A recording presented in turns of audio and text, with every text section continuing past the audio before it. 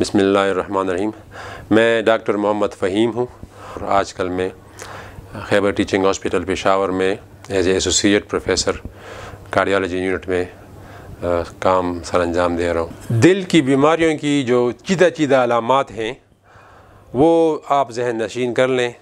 अगर ये अलामत इनमें से एक या दो या जितने भी हों पेशेंट में पाई जाएँ तो पेशेंट को फिर दिल के डॉक्टर के साथ कंसल्ट करना चाहिए या किसी भी डॉक्टर से उनको मशवरा लेना चाहिए।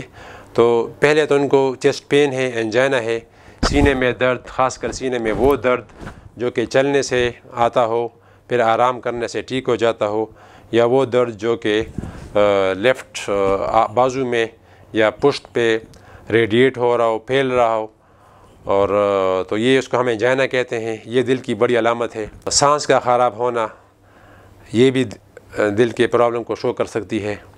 फिर दिल की धड़कन का तेज़ होना पेशेंट कहते हैं कि हमारी दिल की धड़कन तेज़ हो जाती है।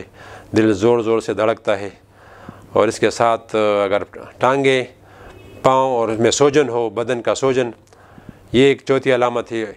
और पांचवी बड़ी अलामत दिल की बीमारियों की है कि उनको सर चकरा रहा हो, उनको बेहोशी आ रही हो बार बार गिर रहे हों, इसको हम सिंकपी कहते हैं या प्री सिंकपी या सिंकपी। तो ये पाँच अलामत हैं। इसमें से कोई भी एक भी हो तो पेशेंट को जहन में दिल की बीमारियाँ लानी चाहिए और उसको डॉक्टर से कंसल्ट करना चाहिए। जिन पेशेंट को दिल की बीमारियाँ हों, ख़ासकर जिनका बाईपास हो चुका हो या जिनके आर्टरीज में स्टंट लग चुके हों, इसको हम पीसीआई कहते हैं तो उनको ये ज़रूरी है कि वो अपनी दवाइयाँ, जिसमें कि खून नरम करने वाली दवाइयाँ हैं एंटीप्लेटलेट्स हैं, यानी एस्प्रीन और क्लोपिडोग्रिल वो ज़रूर भी ज़रूर लेनी चाहिए। और साथ उनके लिए कोलेस्ट्रॉल की या जो दूसरी ब्लड प्रेशर की दवाइयाँ हैं, वो ज़रूर लेनी चाहिए। फिर उनको परहेज़ भी करना चाहिए। खुराक में घी, गोश्त, ख़ासकर बड़ा गोश्त, चर्बी वाली चीज़ें, मक्खन, ये उनको कम लेनी चाहिए। सब्ज़ियाँ और फ्रूट्स ये ज़्यादा लेनी चाहिए उनको। और हसब मौके और हसब हिदायत उनको और कोई प्रॉब्लम ना हो तो उनको रोज़ाना पंद्रह बीस मिनट तेज़ तेज़ चलना चाहिए।